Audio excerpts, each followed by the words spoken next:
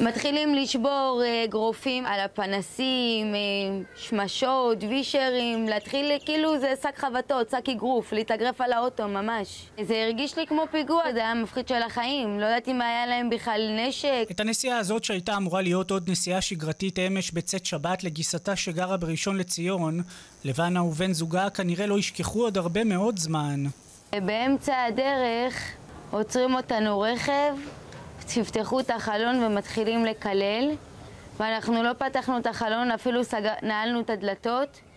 הם פתאום מתחילים לצאת מהאוטו ולתקוף את האוטו ולשבור ולהביא אגרופים לשמשה. לא יודעת, לא הבנתי מה הם רוצים בדיוק, לשדוד אותנו, ערבים, פיגוע. ארבע מצלמות שהיו מותקנות במכוניתה של לבנה תיעדו את האירוע המבהיל מתחילתו ועד סופו מהרגע שבו התוקף יוצא ממכוניתו ויורק לעברם, ועד הרגע שנכנס לטירוף וחובט בעוצמה שוב ושוב במכונית, וכל זה מבלי שהייתה שום התגרות מקדימה מצד בני הזוג.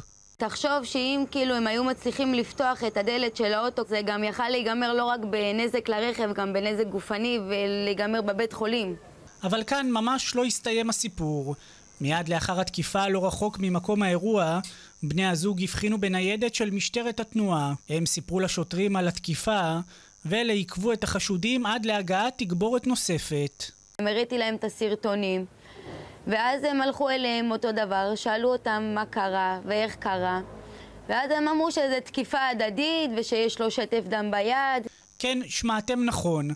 השוטרים נחשפו לסרטונים בזמן אמת, ראו שבני הזוג לא יצאו מהרכב כלל, ובכל זאת החליטו שמדובר בתקיפה הדדית, ושחררו כך לדברי לבנה את החשודים לדרכם.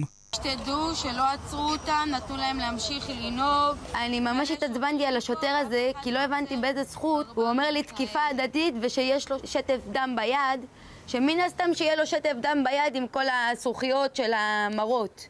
היום התלוננו בני הזוג במשטרה. את התיקונים של הנזקים ברכב יצטרכו לבצע בעצמם ולתבוע אזרחית את התוקפים.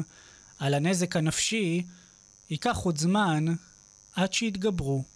שמשטרת ישראל צריכה דחוף להתעורר ולתת ביטחון לאזרחים שלה, של המדינה, ולא להבליג ככה על סיטואציות, על דברים שיכלו להיגמר יותר גרוע, כי המשטרה פועלת רק כשהם רואים דם, רצח, סכינים, רק ככה הם פועלים.